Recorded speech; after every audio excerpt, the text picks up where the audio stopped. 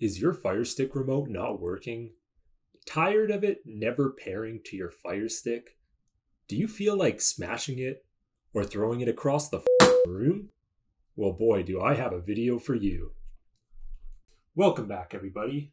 Upgrade Guy here. So that's right, in this video, I'm going to be teaching you how to fix any issue you might be having with this piece of remote.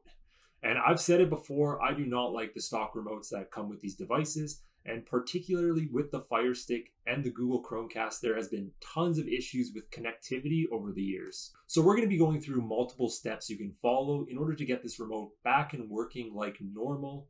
Of course, if you want, there's other options for remotes. You can get a little USB connector, which I'll go over in a little bit, which allows you to connect a third party remote, which will make the overall experience easier.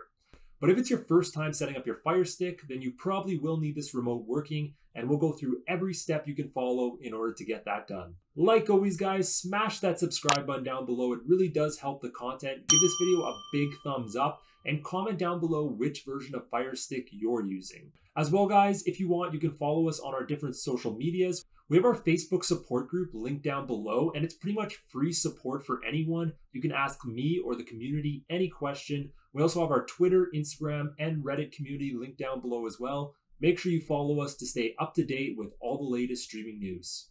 Let's go ahead and get right into it.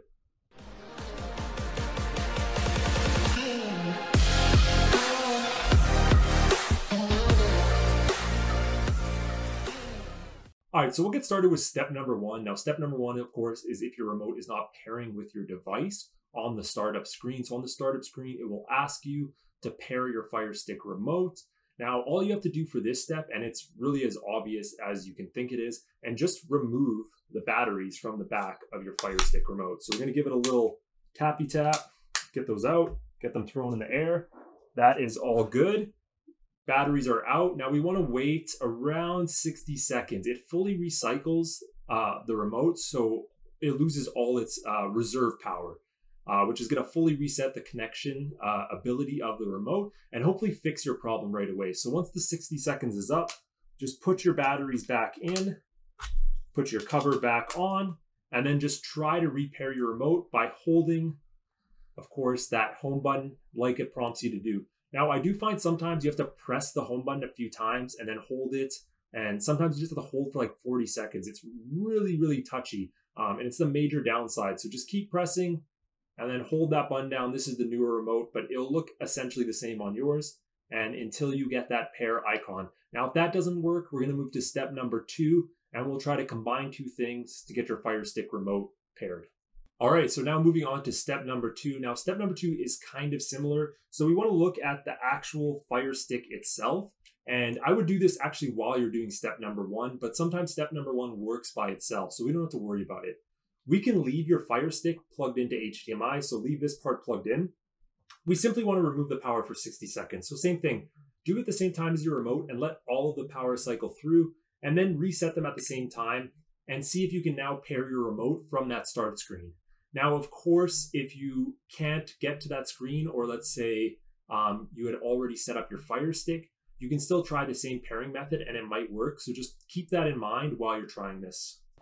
All right, so now if step one and two didn't work, we're gonna kind of combine everything with an extra step in order to make sure we can get your remote repaired. Now, I should have mentioned before, make sure your batteries are actually charged, guys. I feel like that's probably a common problem.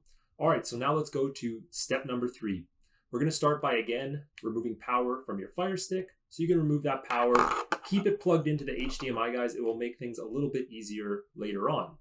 Now on our remote, what we want to do is take our remote and we're going to see a few different buttons here. So we have the back button right here, as you guys can see it. We have the menu button, which is those three lines, and then we have the left button right here. So left and when it's facing you, so it'd be this one right here.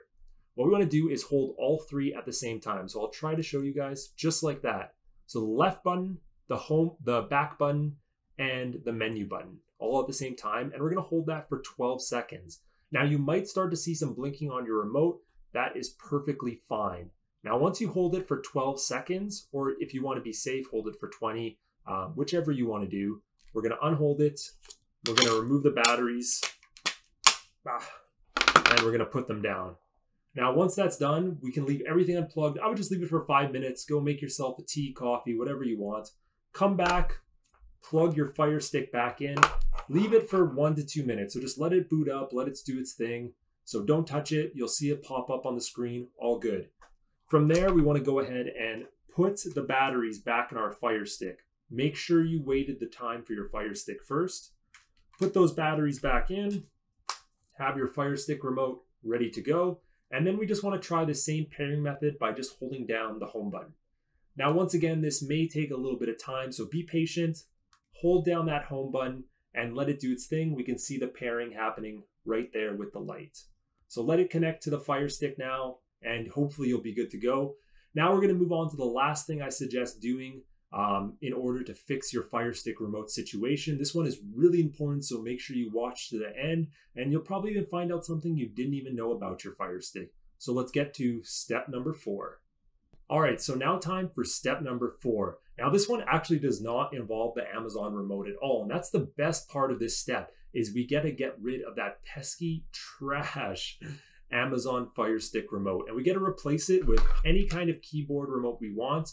All of the ones I suggest are linked down below from cheap to expensive, plus the accessory you need in order to get this remote set up. And it's not via Bluetooth, so there is no pairing that you have to do.